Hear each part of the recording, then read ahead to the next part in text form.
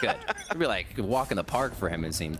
All right, five to four. That was a very, very big round. Like we said, can they can they transition that 5v4 that they were able to start off with? And the answer was yes for Furia. So things working out well in that sense. As we come into round 10, it is a bit of a slower mid-focus round again, but this this keznit Nagz duo continues to stay on the side Yeah. to see if they can open up something off and off. That was real close. There's definitely a lot going on here on the A ramp. Slow default working towards mm-hmm. mid as well for KRU, usually finishing towards the vents, working out towards the A site. But an early flash did come out here from Mazino. It spotted some players, so you see the early rotate back towards the A site. Where are we're moving in, and unfortunately another op shot that misses, and it's punished by keznit.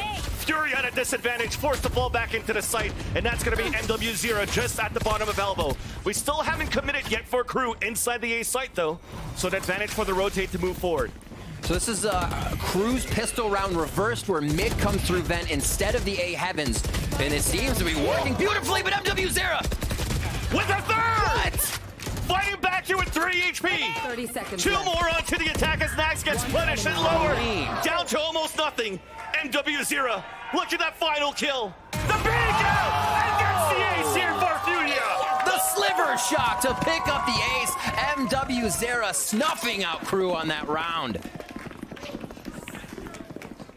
Incredible stuff so far from both teams being able to flip the switch in these rounds and really figure out the call that their opponent is making. This one, it's just nwzera. Everybody get in the backpack for this round. This last shot, though, the beautiful sliver, and he gets that frag. Now that's ice cold. That's ice cold.